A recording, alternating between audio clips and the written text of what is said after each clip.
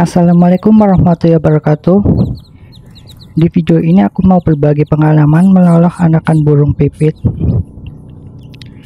Dan ini juga bisa dipakai untuk meloloh anakan burung lovebird, falk, dan lain-lain. Pokoknya yang makan biji-bijian. Alat lolohnya aku pakai suntikan tapi bagian ujungnya dikasih pentil ban sepeda supaya tidak melukai mulut anakan burungnya ya Nah untuk pakan lolohnya aku pakai bubur loloh khusus untuk burung. Tapi kalau emang nggak ada bisa pakai bubur bayi juga. Buburnya diseduh dengan air hangat. Jangan terlalu encer juga jangan terlalu kental. Nah aku biasa kasih makan setiap 4 jam sekali dimulai dari jam 7 pagi sampai jam 7 malam. Artinya dalam satu hari si anakan itu makan 4 kali. Ini tergantung usia anakannya juga ya kalau baru menetas sampai usia seminggu mungkin bisa enam kali kasih makan.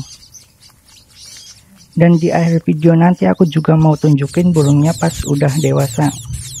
Oke selamat menonton